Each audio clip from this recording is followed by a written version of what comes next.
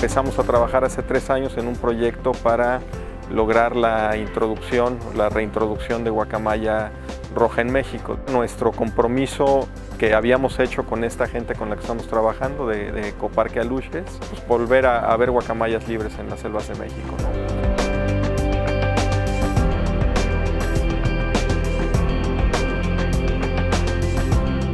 Kind of reintroduction projects are going to be really crucial for the future of these species.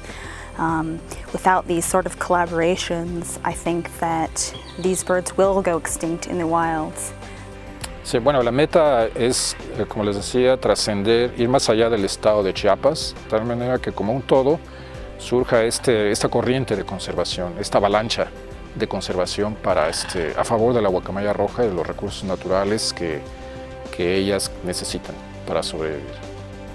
Cada día que alguien más conoce las guacamayas rojas en persona, hay una persona más que está en el equipo.